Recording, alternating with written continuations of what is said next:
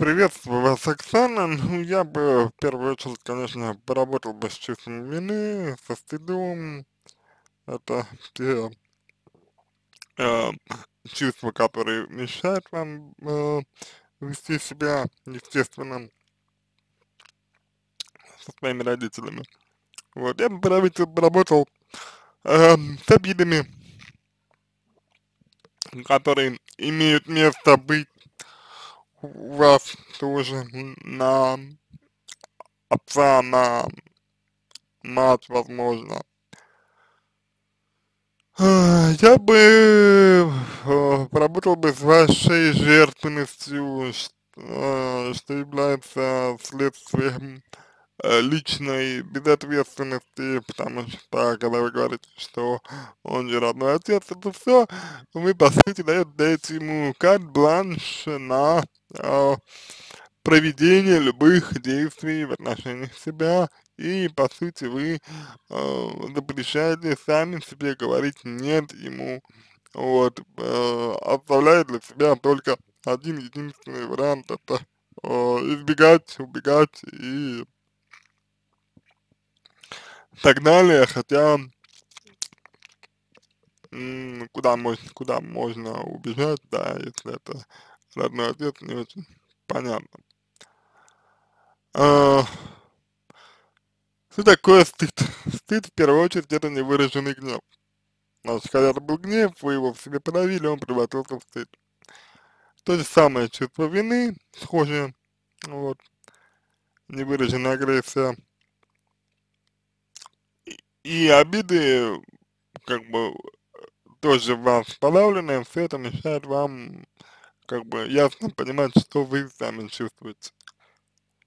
А, еще у меня возникло ощущение, что вы боитесь, что родители от вас отвернутся, то есть боитесь одиночества, наверное. Что в свою очередь означает, что э, себя вы полностью не принимаете, точнее, точнее, у вас в себе есть что-то, что вы отторгаете. Ну. М, Вы склонны жалеть, вот вы склонны жалеть свою маму, своего папу, вот, что тоже эм, довольно негативный момент, которым, кстати, можно манипулировать ва- вами, да, ну, с помощью которого можно вами манипулировать. Вот, э, это такое шалость, это оспаривание справедливости той жизни, того выбора, который живет и делает, и делает человек. Соответственно, и э, как ни парадоксально и, может быть, бесчеловечно это не звучало бы, но э, все люди, вне зависимости от того, родные они или любимые, делают этот самый выбор, и мы, если это люди адекватные, должны выбор принять, каким бы он ни был, а, и не оспаривать его, а вы, соб- собственно, вот э, то, что делаете, вы как раз таки оспариваете выбор, а, значит, ну, родителей, и в частности своей матери, которая выбирает быть с папой. То есть она, то есть она вроде как не, не хочет, да, вроде как ей тяжело, тяжело, но в то же время э, все продолжает с ним оставаться. А поработать нужно и с личными границами, которые у вас явно нарушены, учиться, научиться говорить нет, а со страхами, которые у вас есть. Вот это такой тоже важный нюанс. Вот, и поймите правильно, что вы не сможете вести себя как-то просто произвольно, вот. Э, вы стыдитесь своего, своего эгоизма, а, вы думаете, что эгоизм плохо, и при этом вы хотите быть счастливой и чего-то, до чего-то добиться. Это есть конфликт, ам, как бы точку синергии, в котором вам предстоит найти самостоятельно, но с помощью психолога. А, в целом это очень похоже на треугольник Карпмана, потому что вот вы говорите, что мне 34 года, а, я, я 33, я 33 года, а мне стыдно жить с родителями. Возможно, но как тогда отец может не дать взять вам однушку? Это чувство, чувство вины. И вот с чувством вины в первую очередь и нужно работать.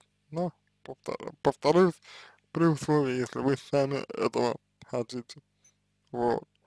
Это, скорее всего, принимая во внимание ваш возраст, но будет некоторое сопротивление. Вот. Я не знаю, насколько сильно, но будет. Вот. Давайте исследуем ваш вопрос. Итак, не знаю, как описать, в чем вы сомневаетесь, сил нет писать, что отнимает силы. Живу в комнате в коммуналке, мои родители съехали, свой дом у них. Как вы, как вы оказались в коммуналке? Живете, чтобы что? Какая у вас цель-то в, жи в жизни? Вы ради чего живете? Мой отец не дает взять однушку в кредит за 1 миллион рублей. А как отец может не дать? Так как им, моим родителям, тоже надо меня, меня жили научить, только совместно это можно делать. А разве они не ответственны сами за свою жизнь? Мой отец считает, что я эгоистка, ну пусть считает, как считает, вам-то что? что я как королева хочу себе отмычку, наплевать мне на родителей, а вы должны за них отвечать? А я ему же жильем не помогу потом. Откуда он знает? Объяснять, что мне 33 года еще стыдно жить с родителями бесполезно. А вы хотите их одобрения? Оксана, вы хотите купить дом недоделанный, чтобы мы с мамой взяли кредит в этом доме еще надо миллион, чтобы все сделать, как это потянем?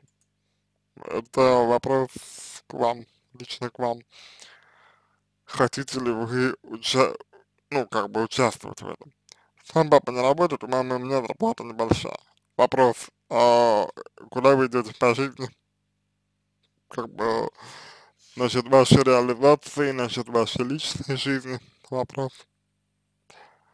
А суть в том, что я не могу сидеть в этом аду в коммуналке. Почему? Приезжаю к родителям. Зачем?